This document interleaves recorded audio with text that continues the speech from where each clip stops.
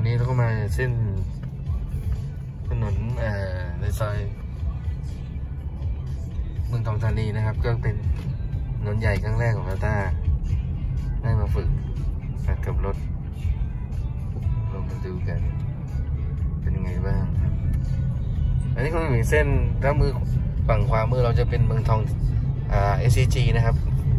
สิงสิงห์ฟุตบอลพาร์คนะฮะ ก็เป็นมือขวาก็เป็นฝั่งขวาเป็นทันเดอร์โดมนะครับ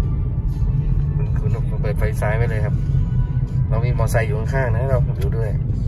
ให้เขาไปก่อน โอเค เริ่มหักได้เลยครับโอเคโอเคเอามาชีพหักแบบไม่เตะเบรกซะเลยแต่นิดหน่อยนะ